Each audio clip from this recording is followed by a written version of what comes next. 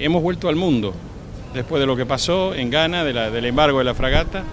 Ha pasado mucho tiempo, han pasado cuatro años sin que la fragata pueda navegar.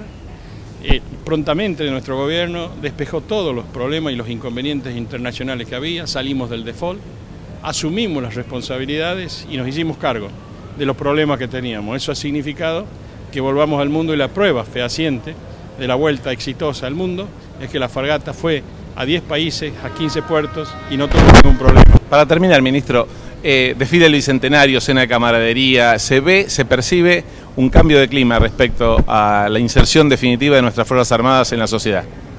Sí, sin duda, nosotros hemos asumido el camino del respeto a nuestras eh, Fuerzas Armadas, del respeto a nuestra gente y también ese respeto, esa vuelta a, considerar a nuestras Fuerzas Armadas, se ve también eh, en los hechos. Se ve en este presupuesto, por ejemplo, donde está previsto recuperar capacidades.